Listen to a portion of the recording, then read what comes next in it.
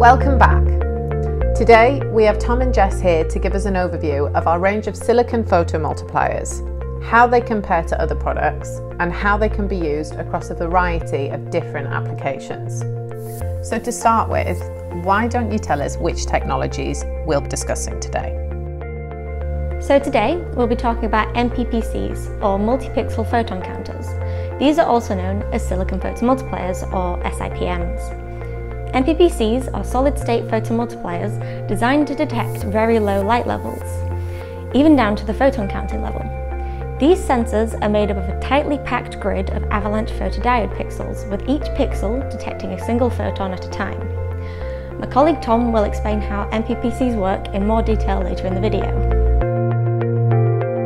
What is it that makes MPPCs stand out from other silicon detectors?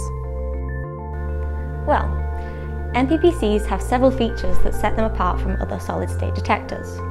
In general, they have a high photon detection efficiency, wide spectral range from UV to NIR, and a fast response speed, which in turn gives MPPCs an excellent time resolution. When compared specifically to avalanche photodiode detectors, MPPCs are able to have much larger active areas, as they are not limited by the same high levels of dark current as APDs. Then, compared to regular silicon photodiodes, MPPCs have an added high gain, increasing the signal-to-noise ratio so that lower light levels can be detected. Okay, great. But how does their performance compare to electron tube products such as PMTs? Okay, so to begin with, MPPCs operate at a lower voltage, so they require lower power consumption than PMTs, and therefore have reduced running costs. Also, unlike electron tube alternatives, MPPCs benefit from being unaffected by magnetic fields, high resistance to mechanical effects, and are not subject to destruction when the incident light exceeds the saturation level. Being so robust means that MPPCs can be used in a wide variety of environments and applications that would simply destroy a PMT. However, MPPCs aren't 100% an improvement over PMTs.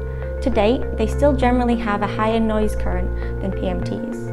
MPPCs also cannot have the same wide active areas that a PMT can achieve without drastically increasing the noise current. So now we know what an MPPC is and what benefits it has. What kind of applications would these sensors be best suited for? Good question. So MPPCs can be used for all sorts of applications, from distance measuring using LiDAR, or light detection and ranging, to PET, or positron emission tomography, for the detection of various diseases and injuries.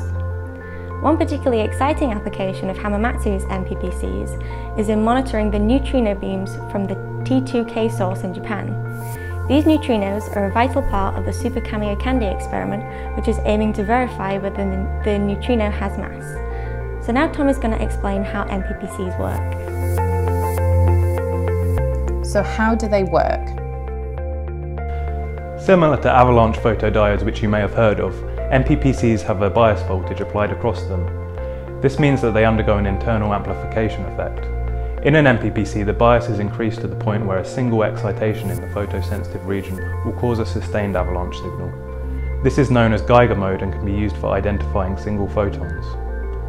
To achieve a useful signal, the diode must have a smaller active area than a normal APD and have a quenching resistor in series. This allows for the dark count to be minimised and the avalanche to stop once it has been detected. Just one of these diodes is commonly known as a single photon avalanche diode and is what can be found in our photon counting modules, with dark counts as low as 7 counts per second. To increase the active area to sizes comparable to other photodetectors, we can connect many of these sensors in parallel and arrange them in a grid of pixels, hence the name multi-pixel photon counter. These pixel sizes can range from 10 to 50 micrometers and the size should be selected based on the characteristics such as dark count and fill factor. What kind of output do we expect to see? Here we have an MPPC used with one of our evaluation boards. It's connected to a 5 volt power supply and an oscilloscope to read the signal. We're keeping the MPPC in a dark environment so we can evaluate some of its unique characteristics. Here we can see some normal behaviour of the MPPC. The output pulses have a duration on the order of nanoseconds and can be seen in the centre here.